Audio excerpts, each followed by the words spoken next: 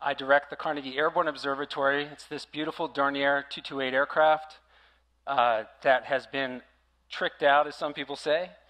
Uh, it has, instead of having uh, rows of seats for passengers, it has a laboratory that my engineers built.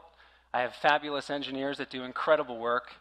And uh, it's a laboratory. You see desks, you see very high end computing, and in the far back, you see something that we affectionately call the big gold sensor. Here's a view looking aft forward, and this is the sensor bay in the back. The sensor bay is comprised of three instruments gold, white, and red. I won't go into them in detail, but they are looking out of the bottom of the plane, and one of the instruments images the land as we fly over in 3D. And it's using lasers to do that, firing those lasers at 500,000 times per second as we fly.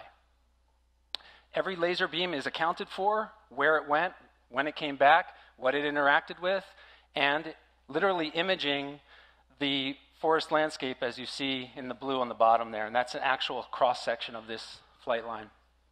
It's more fun to look at it this way extreme detail, leaf level, branch level detail.